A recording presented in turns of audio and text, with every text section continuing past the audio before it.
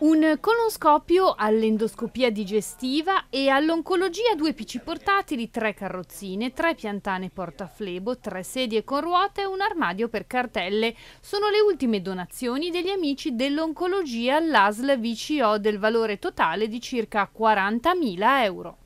Noi siamo contenti di poter essere utili innanzitutto ai pazienti che hanno problemi di malattie oncologiche e sicuramente anche a tutti i sanitari che eh, combattono tutti i giorni queste, questi problemi a fianco dei pazienti. Insomma. Una donazione molto gradita anche perché noi abbiamo la necessità di avere della strumentazione che ci renda celere il lavoro, questo ovviamente ci fa recuperare del tempo prezioso da dedicare alla visita dei nostri pazienti e per i pazienti stessi il fatto di avere una, a disposizione delle carrozzine adeguate o comunque degli strumenti d'uso aumenta sicuramente il loro comfort. Qual è l'utilità di questo nuovo colonoscopio e da cosa si differenzia rispetto agli strumenti già in vostro possesso? Rispetto agli strumenti tradizionali, il, questo colonoscopio è leggermente inferiore come diametro ed è più lungo di 40 cm.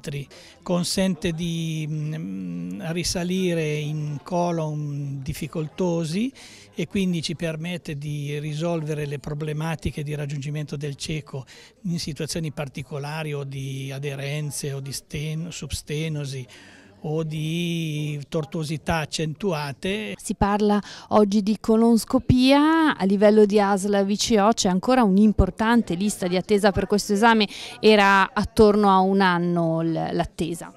Sì, eh, diciamo che l'attesa per le classi D cosiddette differibili purtroppo ancora ha dei numeri importanti, sebbene noi stiamo mettendo in atto atto una serie di eh, attività e di azioni per, eh, per, governarle, come si suol dire. Le attese eh, sono alte appunto per i D anche perché noi abbiamo preso delle decisioni di investire molto sulle urgenze ovviamente e poi molto oh, su una cosa nella quale crediamo tanto che è la prevenzione, quindi tutte le coloscopie richieste nel percorso del progetto Serena in caso di persone che alla ricerca del sangue occulto nelle feci risultino positive. Invito tutta la popolazione over 50 ad aderire al progetto Serena per la prevenzione del colon retto perché cambia la storia naturale della malattia e quindi cambia dalla morte alla vita.